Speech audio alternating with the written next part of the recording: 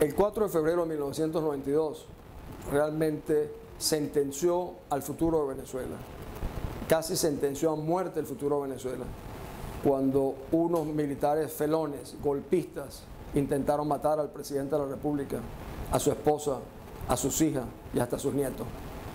Esa mañana del 4 de febrero ingresé a Miraflores con el presidente Carlos Andrés Pérez y el almirante Carratú. La noche antes había llegado a las Naciones Unidas y en la puerta de la entrada del despacho del presidente de la República estaban limpiando la sangre de un teniente que había sido enviado por el señor Chávez a liquidar al jefe del Estado venezolano. Más tarde vi cómo los mismos eh, efectivos militares golpistas intentaron matar también a la esposa del presidente, a sus hijas y a sus nietas. Ese día descubrí quién era Hugo Chávez Frías.